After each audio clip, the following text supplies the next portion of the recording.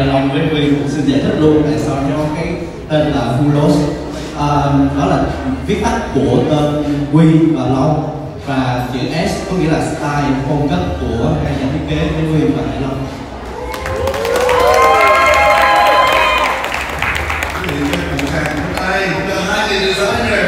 Thank you.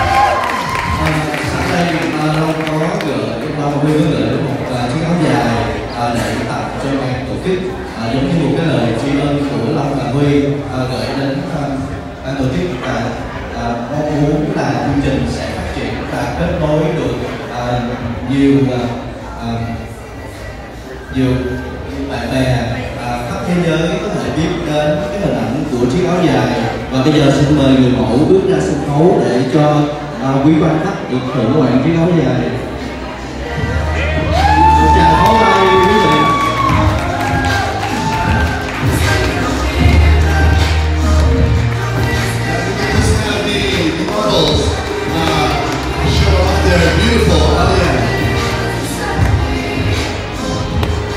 đây là chiếc áo dài mà Ulos à, tặng cho chương trình mong quý vị à, chúng ta cùng thưởng ngoạn